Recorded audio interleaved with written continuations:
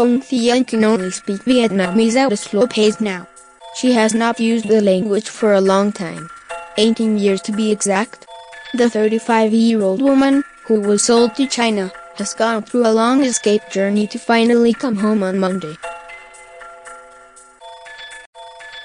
Her arrival has been a big event to her poverty-stricken hometown in the central province of Nghe An one filled with tears, questions and confusion. There has been a lot for her to process, giving last hugs to her old mother. Telling stories to curious neighbors and making sure that her two daughters, who she has with the Chinese man that bought her, do not feel lost in all the Vietnamese conversations. Yen, the eldest child in her family, dropped out during elementary school as her parents could not afford the cost. In 2001, her life turned a complete different page when a relative asked her to come to Hanoi. I thought it was a fun trip, so I followed, she said. It was not. When the relative gave her to a group of strangers, Yen realized she had become a trafficking victim.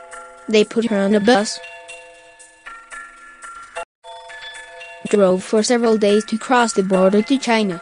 She fell unconscious during the journey and woke up in Fujian, where the traffickers brought her to a 24-year-old Chinese man, and he let her know that she was his wife. Yen said the first days were hard as she spent most of the time crying. Her comfort was the husband did not beat her like in many stories of human trafficking she had been told. He tried to calm me down and he helped me learn Chinese. When I could understand him, he told me that he could not let me go because he had spent a large sum of money to buy me. He kept her at home and locked the door anytime he went out, Yen said. I was depressed. I thought about death many times. Yet, she decided she had to see her family again. Two years later, she gave birth to a girl. When the baby was three years old, she was allowed to work at a factory and had much more time out of the house. I had thought about taking my daughter to run away. But I did not know the ways around and had no money, Yen said. She never stopped trying.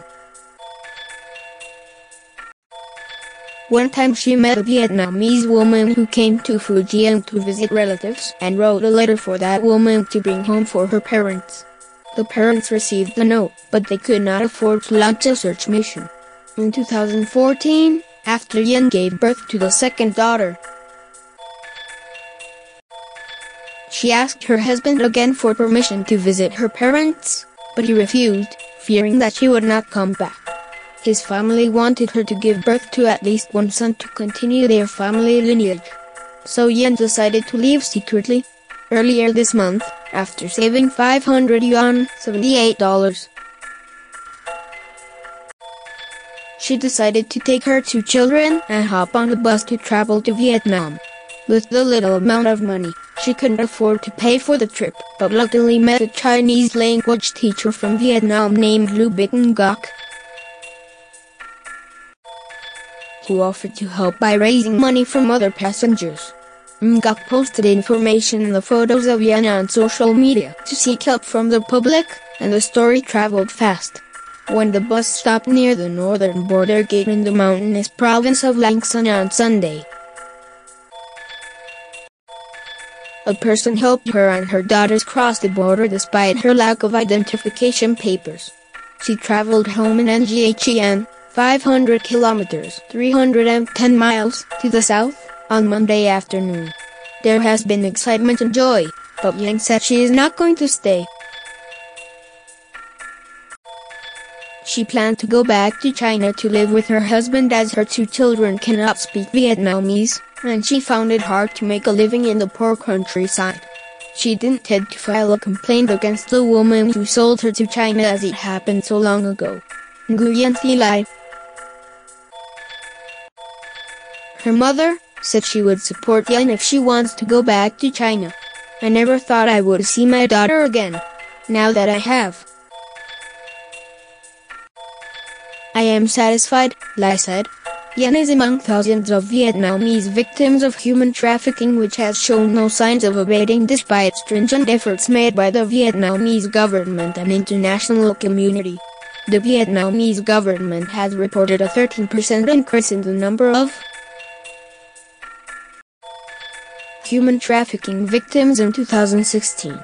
Most of the victims were uneducated women and children from poor areas, including many from ethnic minority groups in Vietnam's northern highlands. They were sold to men seeking wives in China, Malaysia and South Korea, or just to bear children or work as prostitutes in these countries. Many of the children were approached through social networks such as Facebook and Zalo, Vietnam's popular messaging app. Besides financial difficulties, police officers also blamed negligence, easy immigration procedures and gender imbalance in destination countries as the major reasons for the increase. The video is sponsored by Cientronic.com.